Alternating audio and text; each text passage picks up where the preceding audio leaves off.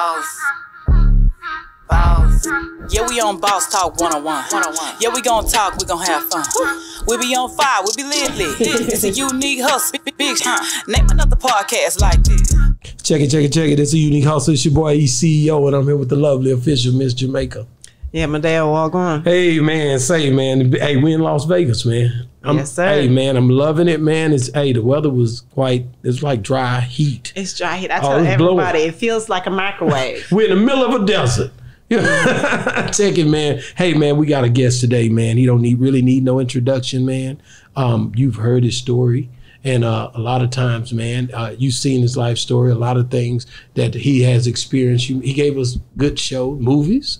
You know what I'm saying? He's mm-hmm. been in clips of movies. I mm-hmm. I, I, t- I went down that rabbit hole and tried to figure out, man, who is Norman Tillman, man? How's it going, man? Man, it's going, baby. Man, come up to the mic a little bit. Oh, okay. yeah, I gotta man. get up closer so they Yeah, can yeah, yeah, yeah, yeah. Because it's a podcast, man. We be on like Apple, Spotify, all that as well. everything. It go out to everything, but we just like I said, iHeart. yeah, We're on man. everything. Yeah. That's outstanding. Hey, man, we enjoy it, man. So how you doing, man? Man, I'm fabulous. I'm fabulous. You know, I went and played golf. My my passion, my you know.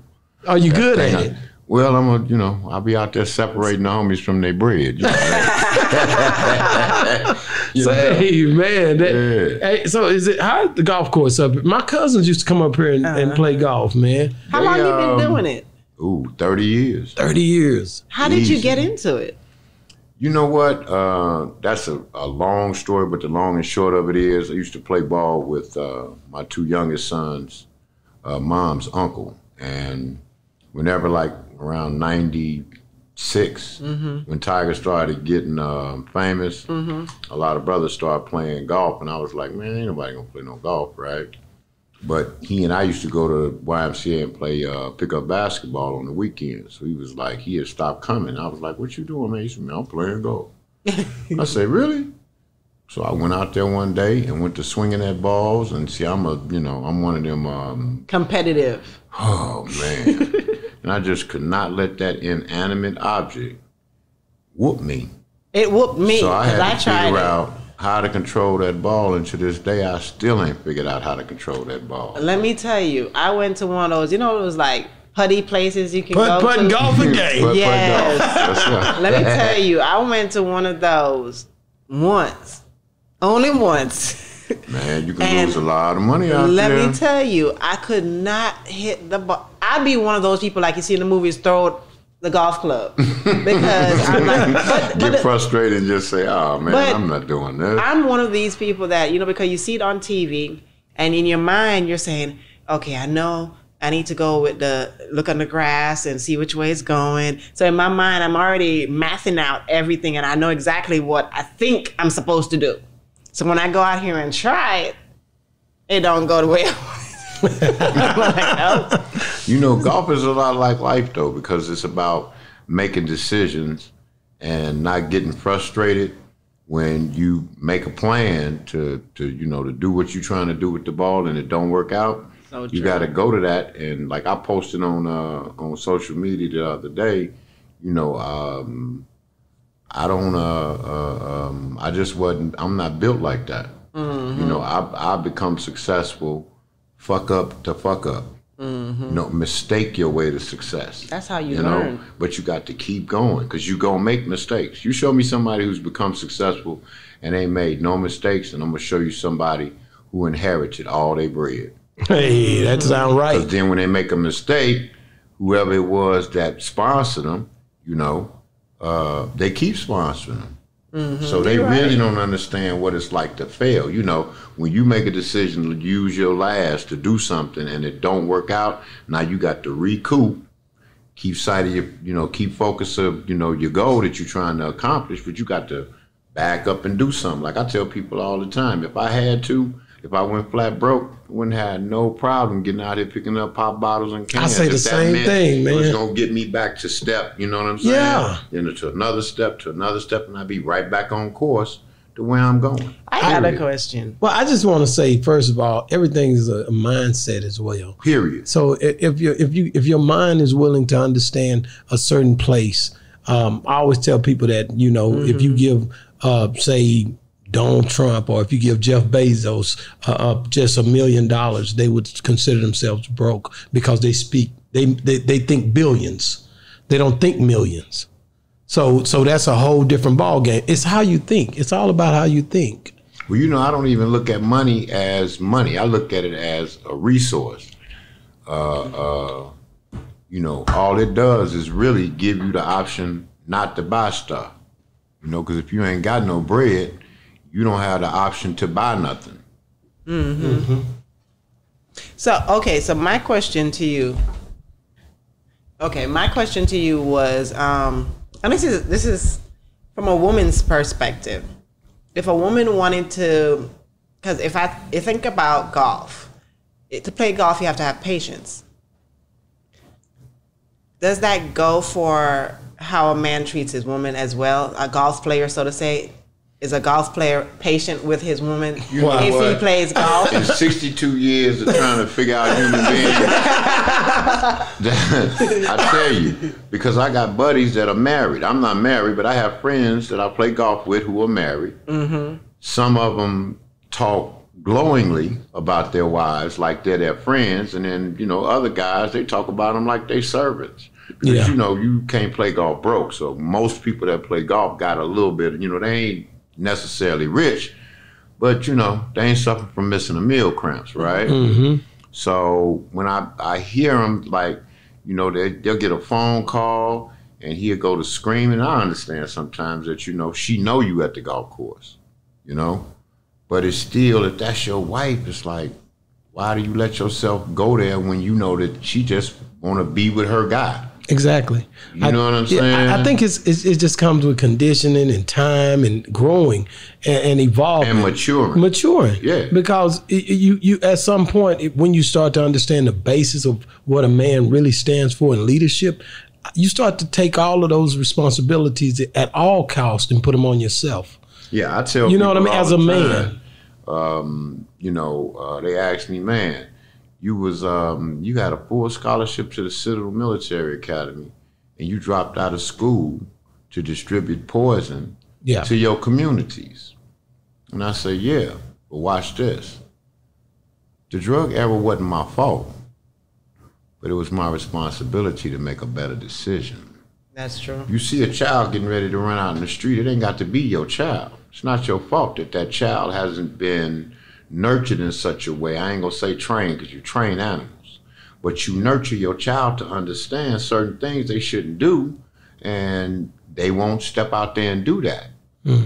But you got the little child that you know you pamper them and you, you know what I'm saying. You don't mm-hmm. really discipline your child like you should. They run out there in the street, get ran over by a car. But if you standing there, you're an innocent bystander. As an adult, as a grown person, you're supposed to stop that child from getting hit by that car. For sure. Now, after you grab that child back from the curb, maybe you might want to sock their parents up a little bit. Mm, mm. Say, That's get it. on your job. That's Get it. on your parent job, just like our communities right now. Our communities ain't safe for our women and our babies. And as men, that's our job to make our communities safe for our women and our babies. We can have piss contests to the world blow up. We ain't never supposed to let our communities get to a place where our women and our children don't feel safe taking the baby to the park. They could potentially get shot on the way to the park to let the baby play in the playground. It's crazy. So you say that okay, so back then you made a poor decision um, with the choices that you made. You're older now and wiser. How are you trying to change that narrative right now and to help these young kids and some some sometimes it's even older men, women who are still trying to be in the streets, trying to do you know crazy stuff. How You know, are you I- trying I- to change that? my primary focus right now are my three sons. I got a 36 year old, a 28 year old, and a 24 year old. And they introduced me because I've never been, you know, back in the day when we was involved in the drug trade, you couldn't allow yourself to be consumed by anything. You couldn't be, you couldn't exercise the disease of addiction in any kind of way. You couldn't allow yourself to get so stuck on something that you lost focus because this could get you dead. Um, so I really, you know, after I stopped selling, um, you know, that poison, I became a drug treatment counselor. I started sending people to drug treatment to Wow. become clean off narcotics. Wow. I worked with Jim Brown, talked to the gangbangers about, you know, is there a retirement tank, uh, plan to gangbanging? Is there a 401k plan? I mean, what what really are you trying to get out of this gangbanging thing, right? What's your success story? Like with all the people you've helped, because I'm sure there's some that you couldn't help. Yeah, and that's the other thing that I had to let go of. And Jim told me, you know, dude, you're not gonna save everybody, but at the end of the day, keep doing what you're doing. And if you only save one, you've done a fantastic job. So, you know, right now I'm involved in the cannabis and hemp space because I personally think that cannabis and hemp are perfect complements to the human anatomy in terms of the endocannabinoid system. And I, you know what I'm saying? I could get real technical and Yeah, all that. yeah, but yeah. the But point they, is they that still call that drug. They s- they still saying that's drug because look at um Carrie Sha'Carri Richards and that got booted for you know and that was a smoking weed. Because marijuana is not in any way a physically enhancing substance. It didn't make her be able to run faster. All it did was calm her. You know, they created a, a, a hemp strain called Charlotte's Web that the, the Stanley brothers out of Colorado gave to a little girl named Charlotte Figi because she was having epileptic seizures seizures. I heard it's good for that. and they get them kids Ritalin and all that other synthetic stuff. You know, when you take Tylenol and ibuprofen, yeah, it get rid of headaches, but then it mess up your liver. Anything organic that you put in your body, you know, I used to know Dr. Sebi, the world-renowned mm-hmm. herbologist, and and you know, he went over there and they say he starved to death. How did that happen? So, Wow. I mean, all over there's controversy. You dig? But What at was the it end like of the knowing day, him? it was amazing. And watch this true story. My brother, my oldest brother, who died in 2007, he had liver cancer. He was told five years prior to him dying that if he kept drinking, he was alcoholic. If he kept drinking, he was going to die. He started drinking that odorless alcohol, Everclear, unbeknownst to us. And then one day, because he used to go play golf with me, he was sick and he didn't want to go. And the next day, he started gradually not eating, and we was like, "Man, what? You all right, dude?" And he, full disclosure, I'm still drinking. He was like, "Oh man," I called Doctor Sebi. Doctor Sebi said, "Man, come on, get these pills." It was herbs and you know that stuff that he deal with, right? Mm-hmm. He said, "Get that to your brother. he'd be fine." And he said it real nonchalant, like, I've been doing this, bruh. I've been dealing with, you know, all disease in your body has to do with mucus. That's what yeah, he said. that's what he says, Yeah. So he said, man, get that to your brother. Should go away. and it did. You know, no, you know what my brother told me? I don't want that shit. wow. He didn't want to deal with it. You see what I'm saying? So, man, I, you know. But something as simple as some pills just to see if it works. Like why But it was pills, it was powders, it was all kinds of Oh. combinations of. he don't want to have to deal with have right. to make it and do this and He do just want to take Tylenol. Wow. You go to Walgreens, get some Tylenol, no problem. Yeah, but it's got side effects. Of course it does. Is your brother still living?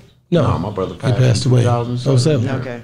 But the, the the thing I, I I looked at was the Nipsey Hussle with the Chronicles. What what was it? Um, that The that movie, one movie. Yeah, you you was uh, playing the uh, you, Love Chronicles 2 Love Secrets Chronicles. Revealed. Yeah, yeah, that Love And Love he produced Chronicles. it, part produced too. Executive Yeah, producer, yeah. co-executive producer. Yeah. So so how was it like acting as his father on that on that scene? You know what? Ironically enough, that was that was really just a last minute thing. yeah. How did yeah How did it happen? You know, that was a black female that wrote, directed, and produced that film. Mm-hmm. So that was when our homeboys' wife, Tyler Maddox. And while she was filming and we were on the set watching her film, she was like, "We need somebody to play Nipsey's daddy." wow. I mean, it never occurred to me, you know, he was like really, you know, You, Not you have fair simi- you have similar features though. Well, that's what she said. and they all start saying, "Come on, Uncle Shitty, man, come on, man, you can play it." I'm like, "You can Yeah. play as daddy." Because you know, I've never, you know, anybody that knows me that know that you know, Freeway Rick Ross was my best friend. Yeah, yeah, yeah. I ain't never wanted to be famous ever. That's why didn't nobody know me. Yeah, yeah. Period. Until So the this was your first time out. acting. Yeah. and I had been to film school. You know, I'm a stud that wants to be the man behind Behind the the man. scene. Yeah, I get See, it. I know Slim. You know, behind Baby Yeah, yeah, yeah, yeah. and Lil Wayne. Yeah, yeah, yeah, yeah. I know Slim, the guys yeah. Slim- behind the guy. Man, love those guys, man. Just love the way that they. I love the way Slim. He just stays back and he, he you you don't never even hear or see him. But you know, that's another thing that we love to do because we also interview a lot of video videographers, producers, and so forth. Because if it wasn't for them, this artist wouldn't be the person that they are. So we try to give shine to the people behind the scenes.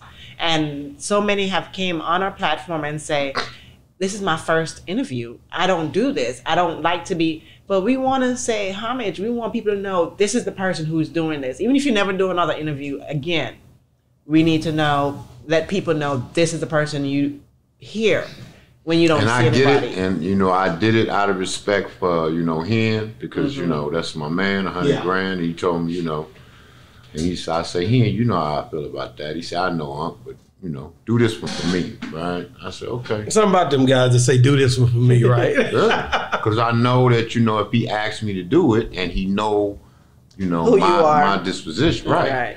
There must be something to it. So I said, okay, well, I got to support him. Wow, man, we we definitely appreciate it, Yes, we man. do. Um, and and like I said, when I when, when I called him, I was like, man, I'm going to Vegas. We were just in Atlanta, and I want to, you know, I want to interview some some interesting people who can come on the platform and help others. You know that what you've said tonight, um, it'll help others. Some people that's the whole point. That's the whole game. That's the I mean, and, and to point. stop things and staple it in time right now with the way that we have all this technology is and very it's a very important thing.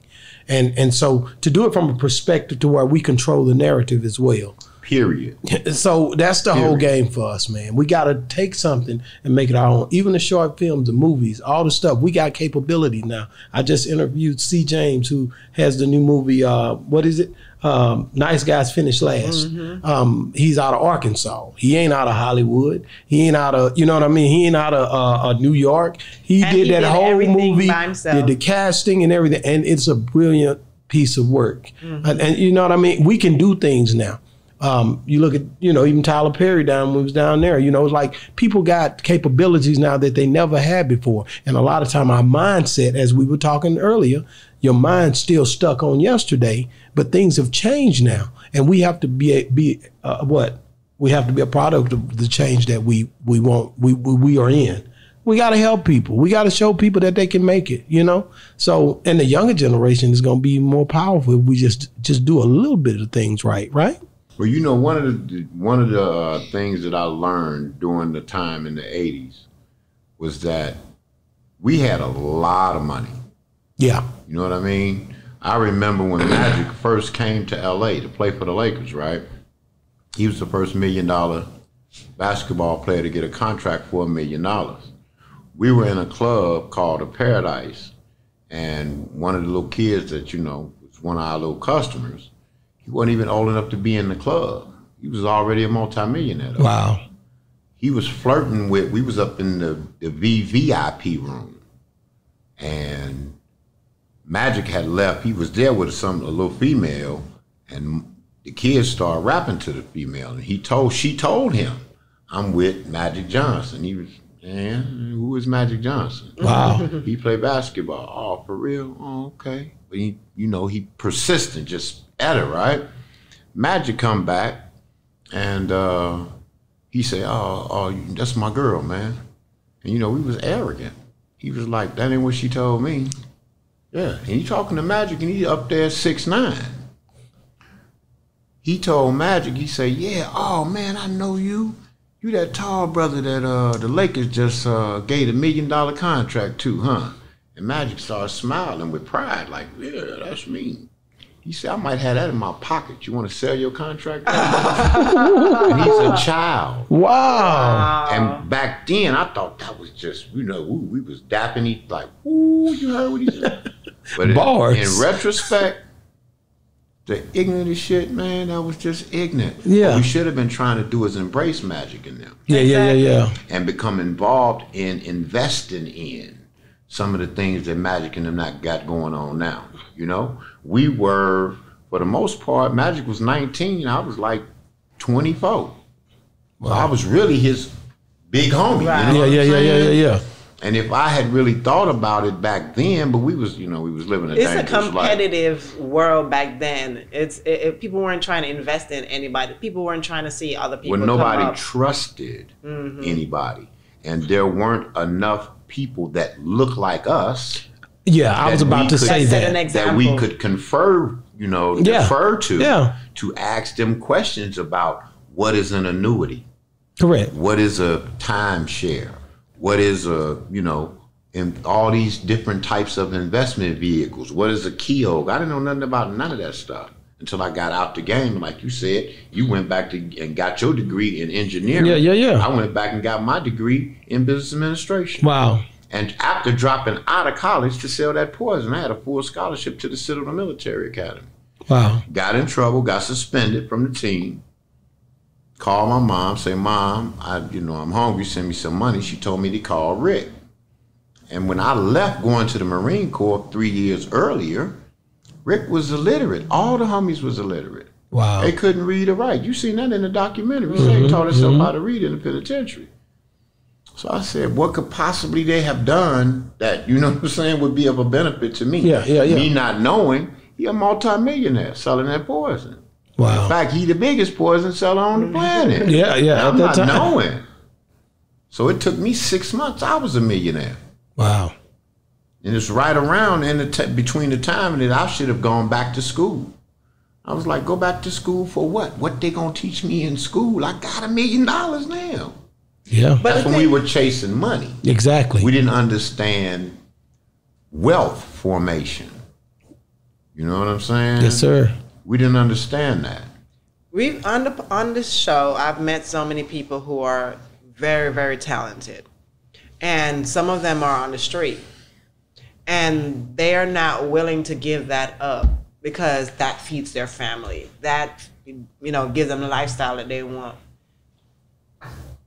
How could you advise a young kid who's in that position? Because you know they always say, "Well, I'm going to either die or be in prison." because that's the lifestyle that comes with that.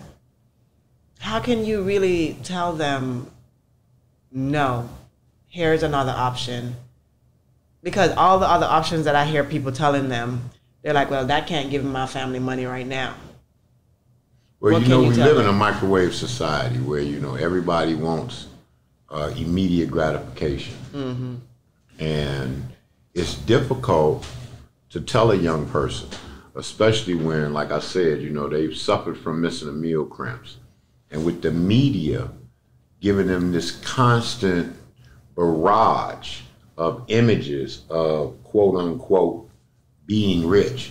Then they see their peers. They see the Cardi B's and the uh, Offsets and the Beyonces and the Jay Z's and all the you know these celebrities with the jewelry and the you know the whole opulent lifestyle, and that's what they aspire to want Right. but they don't they don't really get to see the behind the scenes. They don't see the blisters and corns that Beyonce got on her feet from the hours and hours and hours that she had to be in that gym, you know, that local gym practicing that presentation that she's going to present to you and charge you two hundred and fifty dollars to come and see it. They don't see that, Wow. you know. Definitely. So I don't know. I just tell them, you know, um, your health is your wealth. You know, you need to um, really understand that this this life journey is not a dress rehearsal. This is it. And if you're willing to allow yourself to be exposed potentially to something that you could quite honestly lose your life doing, then you have in your decision making process is immature. Mm-hmm. You know, we used to teach in the Amer-I-Can program when I used to work with Jim Brown about life skills. You know, I didn't even know the phrase goal setting process, decision making process, conflict resolution. What is that? Like, huh? Like you talking about stopping a fight? But you know, you get exposed to new ways to say something, but using different words. Mm-hmm. You know what I mean? So when you think conflict resolution, yeah, okay. So basically, you saying that there's a technique that I can employ when I see two people in a heated debate or argument or about to have a fist fight, you know, I can escalate or de-escalate, De-escalate. that situation based on a process that I can use to get inside their head and say, what is this really about? What is this really about? What y'all really mad about? You mm. dig? Yeah. Just like wealth creation. I know that y'all didn't start out with all this equipment. You got some very technical stuff in here. You didn't know how to use this stuff before you knew how to use it. Mm-hmm. But what you did have is the perseverance and the patience. Because I know you bumped your toe. Nobody's successful No. I've ever met. No, no, it's Didn't a lot of late nights. A lot of late nights. Didn't have some hurdles to jump That's over, right. some speed bumps. You know, you had to walk into a couple of walls to Yeah. realize, you know Definitely. but you never lost sight of your goal. No. You never lost sight of the fact that if you just keep pushing, just But- keep putting one foot in front of the other. I think it's just like hustling back It in the is. days. It's the same thing as, as in the streets. When I was in the streets, you know what I'm saying? I had I'm an extremist. Whatever I do, I take it to the max. So when I was in the streets and I was uh, hustling, uh, uh, getting to the money, um, I remember occasions where you know things would happen. Um, think we would get massive amounts of loads of stuff that came to the community. Well, when I got my pack and and my partner got his pack, well, I'm breaking everything down. I'm running circles around anything, and anybody you can't deal with me. And it's the same way with any other thing I'm doing. Um, I always say in sports, when you meet a guy that does sports, I said this earlier today. He don't just run track. He can play basketball. He can play football. He can even play baseball. He will whoop you in kickball. He can do it all. Usually, that talent just oversees each you know, category of sport that he touches.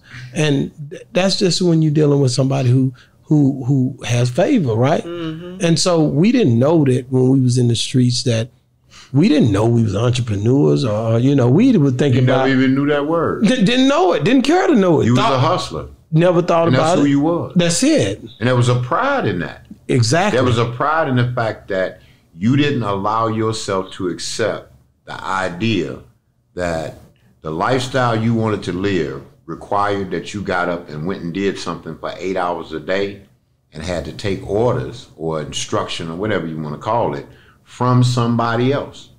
And you didn't have to do that. yeah. Now, that might have been a, a ends to a means, but you were still focused on trying to get to where, like, you know, now, being an entrepreneur, being Mm-hmm, Exactly. a self sufficient human being, Mm. being able to control your own time. Definitely. I wanted to ask you something. I wanted to um, ask about coming from Chicago to LA.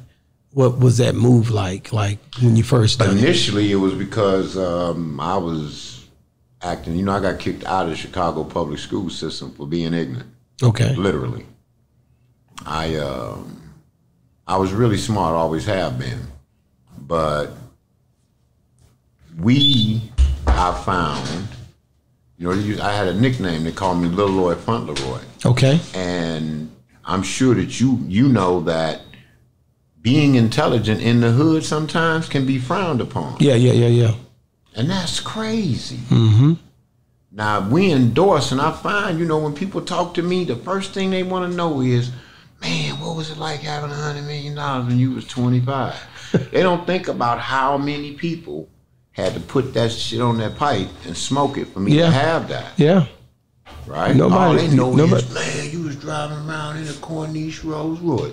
You was this, that. Don't the they be talking thing. about them stories? They love like so- I be like, ain't nobody else I did nothing. talk about that. Nobody cares to hear about it, but they keep that. bringing it bringing it back up because it's exciting to them. I mean, Right. you you talk to people and they be like, "Hey man, why don't you just why don't you just come back, man?" You've heard that over the years, because they've never done it and On that level, like- that life. and it's like, I Really, ain't that's come- what it is. I could never go back. It's like uh, it's like a, a, a some person going back to his own uh, vomit. It, it's it's just when God delivered Wow, I never thought about When it like that. But no, that's when God exactly, that's delivered me, man. Yeah, that it idea is. Like to me. I, I I made a vow to God. I could never go back. Right. You know, in '95, I made a vow, and and I've been true to it.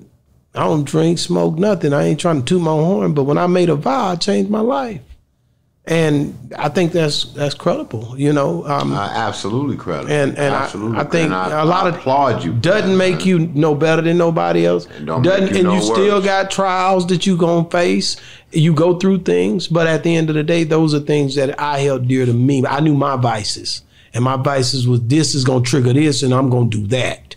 Yeah, but those experiences that you had of bumping your head Yeah. have given you information that you now use when you make decisions about doing certain kind of stuff. You still make mistakes, Mm. Of course. but you don't make that big of those mistakes. Got it. Your mistakes get more little and little and minuscule and minuscule and minuscule until they get to a point where you kind of mistake free a little bit. Yeah, yeah, yeah, yeah, you know? So yeah, that's what I'm trying to get to, man. I just know that uh, you know, I'm doing a thing called a remorse and redemption tour. Okay. So I go around and I tell brothers, yeah, man, you know, I'm not gonna sit here and tell you that uh, I didn't have fun. I did. Yeah, right. I had a lot of fun.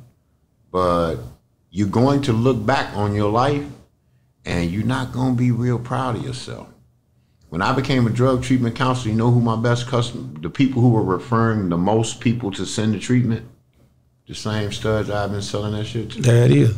And they were bringing me their aunts, their sisters, their mamas, they all kind of, hey, big homie, man, oh, put my auntie, man, I'm tired of watching her do what she do, and you know, they using that shit. It ain't nothing they won't do. I had to get out the game because a stud came in, and it was my job to make them tell me what their rock bottom was. What happened that made you decide, man, I got to stop doing this? Dude told me he was letting drug dealers have relations with his 12 year old daughter. Wow.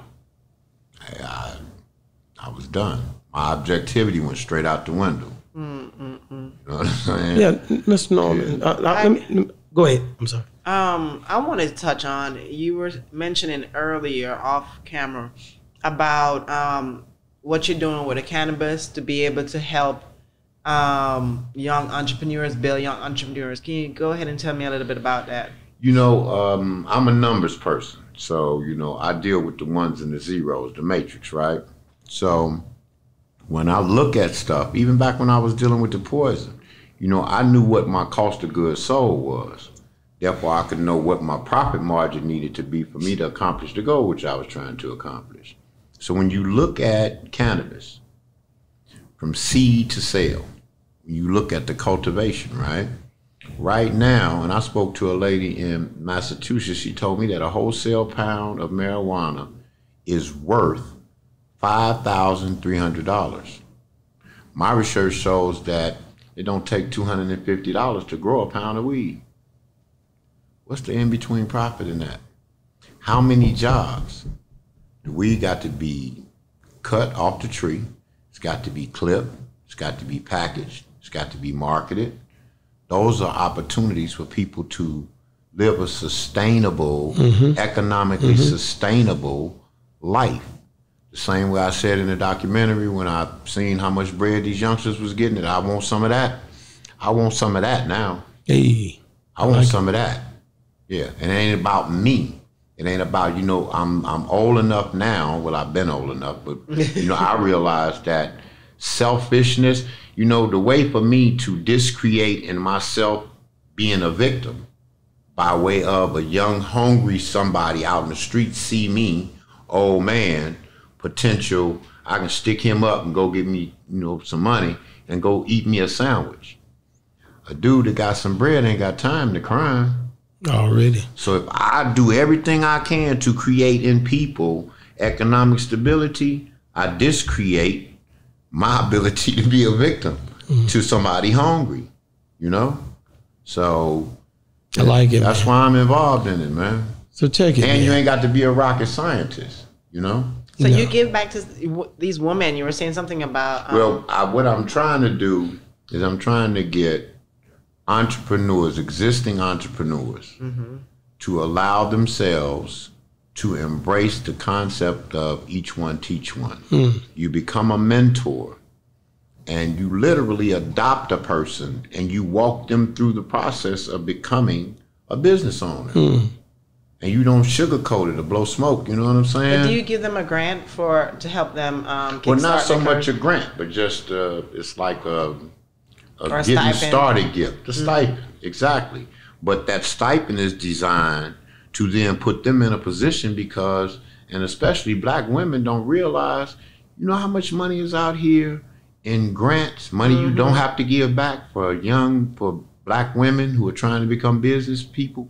How can a black woman qualify to get um, what you're giving out You just you just got to be do you oh you're talking about for my personal for your program. personal program? Well, again, I have a uh, it's this social media page called Clubhouse, and I have a page on there called Freeway to Business. And what I do is I hold meetings every week for the members, people that have joined, and I ask them to tell me why do they want to become entrepreneurs? Because you know, you when everything shut down, you don't go home. You got to clean up and put up gear Mm-hmm. That's and right. the whole nine. If you That's own a restaurant, after you shut it down, you got to clean dishes and mop floors, and you see what I'm saying. So people don't understand that being the boss means you eat last.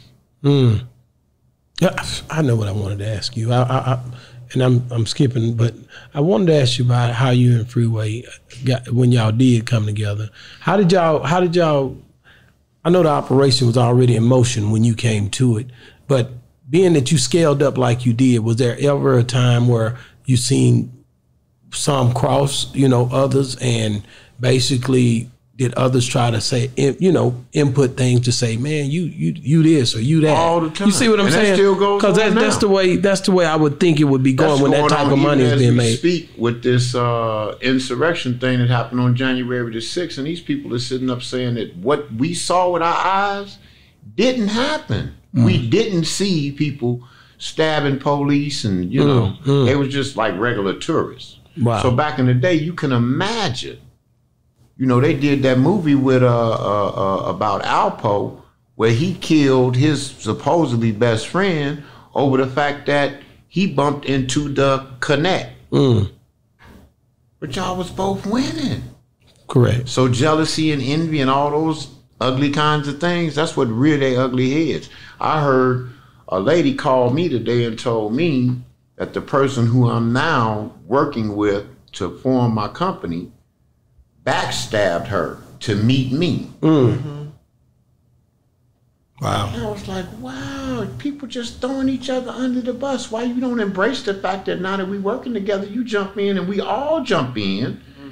and work together to reach a common goal, Mm, mm. which is to pro- provide people with opportunities to identify resources so that they can become a blessing to somebody else and keep the blessing going. Hey man. You know what I'm saying? Let me let, let me. I just want to say, man, thank you for coming on the show, man. Man.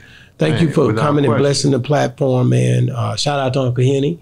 Um, shout out to Yeah, uh, no. Freeway.